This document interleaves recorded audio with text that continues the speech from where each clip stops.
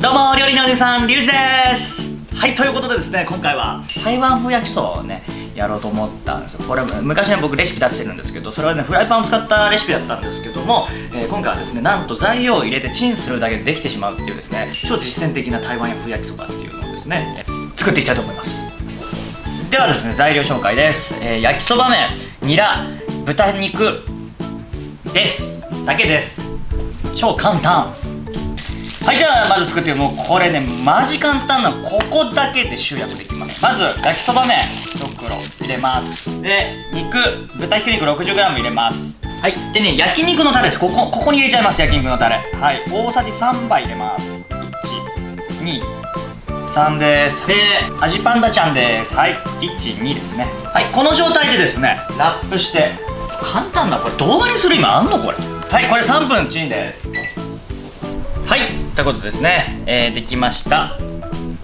あできできたというか3分チンしました。ここにですよ。大事なにニラが入ってないですね。はいニラを、えー、入れていきます。大体3センチぐらい。で入れてあげてください。ねこんな感じでやればね包丁ね洗う必要ないんだよね。超実践的超実践レシピです。僕が月収月収9万で生活していた時にこれを知りたかったですね。本当にあの日々は辛かった、ね、漫画喫茶のアルバイトしてた時ですね僕はねはい。ということでですねでもう一回蓋を蓋を蓋というかラップします。これで1分チンします。はい。1分チンしたものがこちらになりますニラはね1分のでチンがねシャキシャキで美味しい。これでこれでですねオリーブオイルですオリーブオイルを小さじ2ぐらい。まあ多くても構い。ません適当適当で大丈夫ですでこの状態で混ぜ混ぜしていきます。これがねニラの火の通し具合がね最高最高になってるはずですね。これね。でひき肉が結構固まってるのでここら辺はねあのよくあのほぐしてあげてくださいね。タレもね結構下に下におどんでるというかおどんでるって言います？千葉の方言かな。沈んでますので。なので、えー、こう持ち上げるようによーくね、えー、ひき肉を崩しながら、えーと、混ぜ合わせてくださいね。はい。これぐらい、ね、こういうところでポイント言っとかないともうポイントないのでこのレシピね。はいここれでもう完成です。盛り付けてももう盛る盛るだけですねこれね。別にね面倒くさかったらねあのこの容器のまま食ってもいいんですよ。僕が若い頃はそうしてました。僕はあの一応料理研究家って名乗ってるので盛り付けはします。いいですねこんな感じですね。うん。非常に美味しそうですねこれね。はいえーとね。でああればあればで結構なんですけども、あれば糸唐辛子を添えてあげるとあこれでやっと台湾になりましたこれね。台湾の風が吹いてますよこれね。これで、えー、台湾風焼きそばの完成です。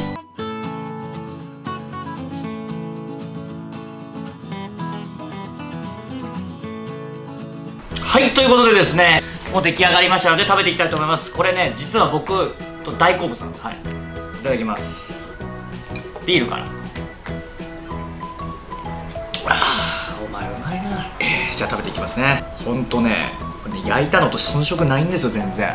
ニラとひき肉をたっぷり巻き込んでですねいただきます。うん。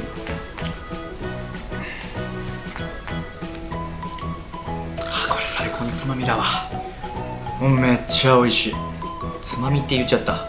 あのつまみじゃなくても平気です。これねあんまり知られてないんですけど焼肉のタレとオリーブオイルってすっごく相性いいんですよ。まあ何が台湾風なのかっていうとひき肉とニラを使ってるってところで台湾って言ってるんですけど、まあ、実現的にはしっちゃがめちゃがなんでね焼肉のタレ使ってるしオリーブオイルも使ってるのでえー、なんですけどね非常に調和してるんでもうやっぱニラがねすっごくいい感じです。あのいい感じでシャキッと、えー、感も残ってるので、えー、これ非常に美味しい。あのねでねもうも非常につまみになります。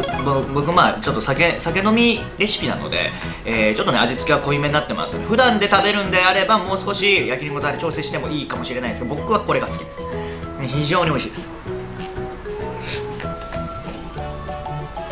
やっぱねうまいですね。自分の料理がね一番好きですね。言っちゃいますけど。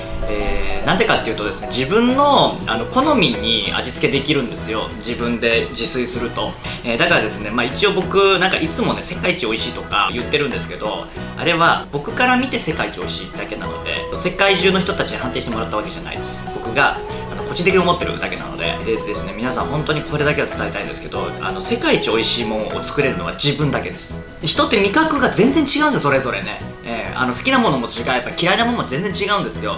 で味付け薄いのが好きな人もいれば濃いのが好きな方もいるんですね。なのでそういう微調整ができるのって自分なんですよだからね。もう少し塩味濃い方がいいなとかもう少し香りが強い方がいいなっていう風に自分で判断できるんですね。こうなんか世界一美味しいなって思う料理をですね僕はこういう動画を配信することによって皆さんが一番いい味付けって自分にとって一番いい味付けっていうのを作っていただけるように僕はこの動画を配信してるんですね。なんかちょっといつもと趣向が違いますよこれね、えー、食べるシーン多分僕が世界一美味しいって言っても多分世界一ももっと別にあるよってみんな言うと思うんですよ、えー、そういうの当たり前なんですね。なのでそういうことをですね、まあ、頭に入れていただいてあなんか自分で美味しいもの自分で作れるんだっていうのを皆さんに知っていただきたいなと思ってこういう料理動画を、えー、配信しております。こんなこと言うのはねあんまなかったんですけども思いをねたたまには伝えたいなと思いましてこういう感じで語らせていただきました、えー、酔っ払ってるっていうのもあります。